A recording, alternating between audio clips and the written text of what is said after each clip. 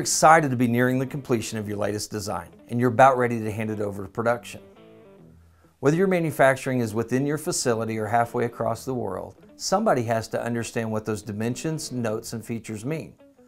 Often quality looks at these and they're not quite sure, so they check all of them, costing unnecessary effort.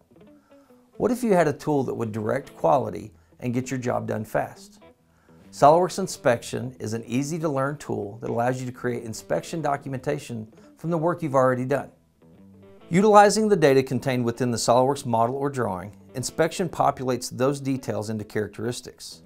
A few simple clicks extracts the data into tables and then balloons the features. Having the balloons and tables connected saves a lot of time, making sure that they are consistent and accurate. If any changes are made, the balloons are reordered automatically to maintain continuity. SOLIDWORKS Inspection exports all this data into the forms of your choice, like an AS9102 First Article Inspection Report. The provided template editor allows us to quickly produce the format that works best for our needs. If you need to create inspection documents from other CAD files, TIFF, or PDFs, we can use the included standalone application. Using optical character recognition, inspection analyzes and balloons the features.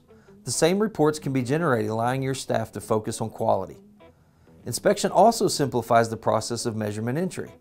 Connected measuring devices like calipers, micrometers, or height gauges can transmit their readings directly into inspection.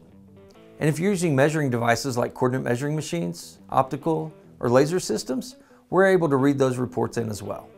If you'd like to learn more how to get SOLIDWORKS Inspection integrated into your design to manufacturing process, click here. If you're ready to get started, contact us at GoEngineer.